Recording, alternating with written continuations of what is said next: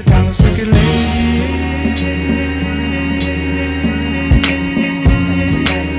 are watching Friends. What do you know?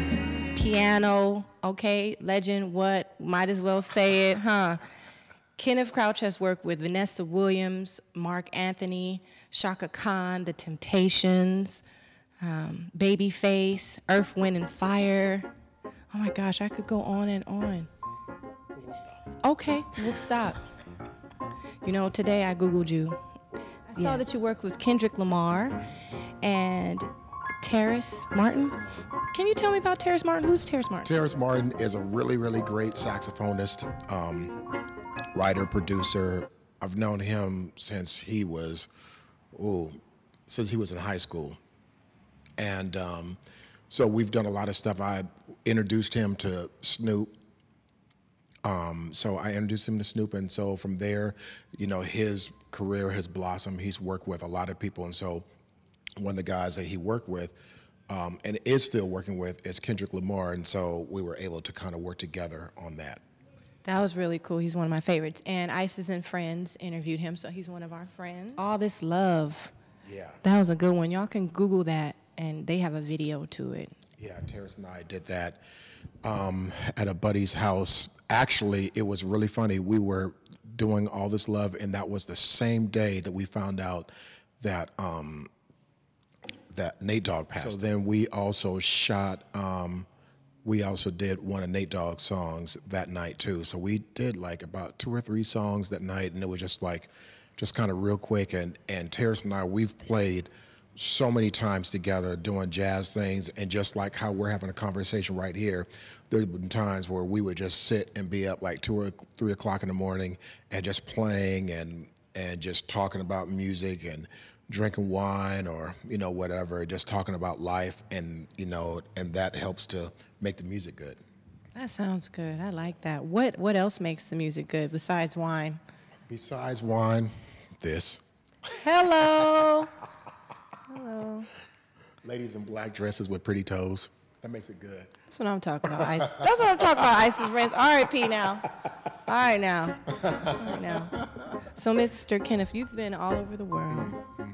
Um, I was listening to your CD, Thoughts of Cedros. yeah I love that song, Baby Steps. thank you How did you get that inspiration? It sounds like a few different pianos. I don't know how you did it. Yeah, well, the name the name of the album, Childhood, the Art of Simplicity, and one of the tunes on there is is um, Thoughts and Cedros and Baby Steps. And Baby Steps, what I was trying to do, it was my trying to make it sound like I said if I could make the piano sound like a drum machine. So I literally did three passes. Three passes mean like one re- full recording of I put towels inside of the piano and um, and then I had like so I could like mute the strings so that the strings didn't ring out.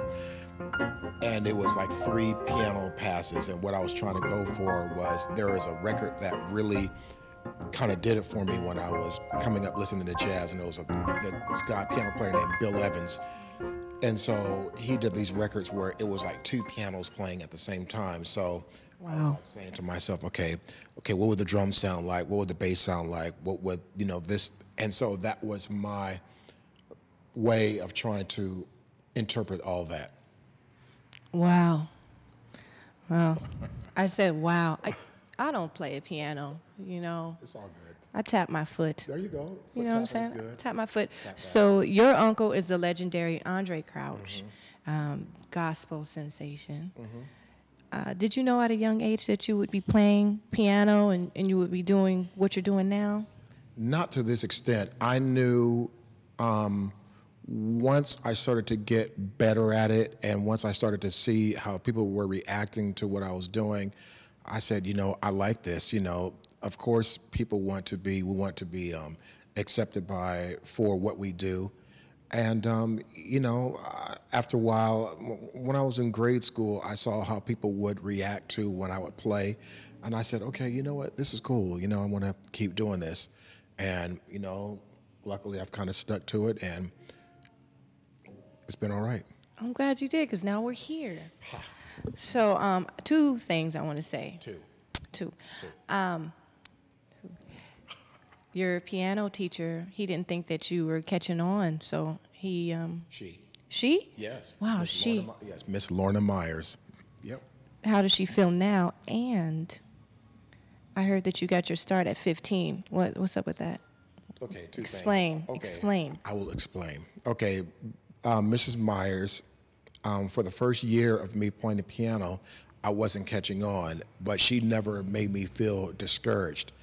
And it, was close to a year that I was taking lessons, and she told my mother, she's like, you know, we'll we'll have him stick with it for another year. or so- I mean, excuse me, for like another month or so, and if not, if he doesn't catch on, then maybe he should try something else. And that was sort of reminiscent to things in me in life. It's like I would be kind of uh, not so quick to catch on at first, so I'll be kind of like you know, in the back of the class. But once I would catch on, then it's like for as far back as I was, I would surpass that and get to the front.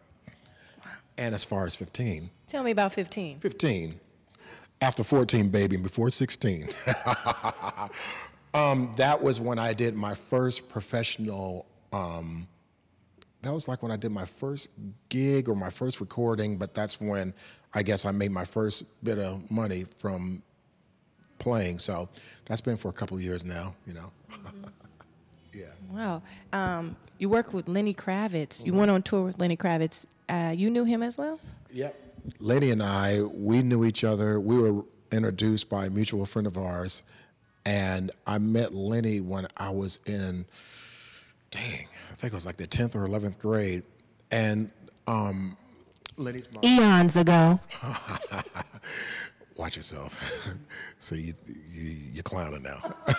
and um, we um, met each other through some mutual friends of ours um, when I was like in 10th or 11th grade, and and then um, Lenny did the Let Love Rule album, and he called me and he's like, "Hey Crouch, hey, you know I'm living out here in New York.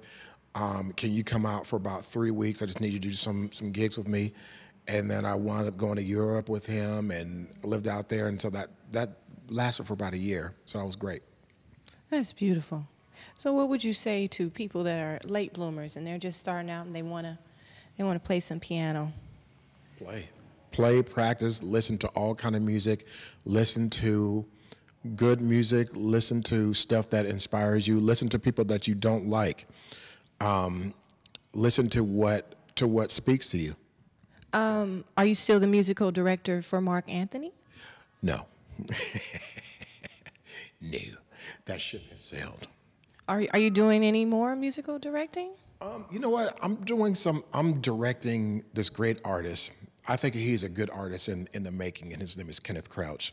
I know that sounds very self-serving. Know him. Yeah, yeah, yeah. You know, and so I'm working. I'm really working on my own thing, and I've kind of like have hid my light under a bushel for so many years, but I'm really stepping out, and I'm starting to do like some one-man shows, and it's kind of experimental, and so I'm kind of figure, figuring it out along the way, and I'm digging it. So I'm di- I'm doing like piano playing along with programming and producing stuff live in front of people. So I'm um, being very vulnerable in front of everybody, but it's it's kind of cool, and it's um, and it's just an exercise of me just you know putting myself out there in a line, and so I've done it a few times, and um, it's um, kind of nervous feeling, but it's good. I'm digging it. I'm pretty sure you're gonna be all right, Kenneth. Right on. I know you're gonna breeze through this. I'm glad that you're taking time out to do something for yourself, working with so many different artists. Mariah Carey. Yeah, Mariah. Wow. Yeah, work with Whitney, and you know, and uh, you know, God bless her. Got I've been able to work with a lot, a lot of great people, and there's a lot more great people to work with still to come. I agree. I want to thank God for this interview because without him, it wouldn't be possible. Boom, bow. Okay. Eh, we're making piano sounds. All right, Mr. Kenneth, what are you going to play for us? Um, I don't know. It'll come to me. Okay, cool. And this episode was sponsored by Knauer Pianos.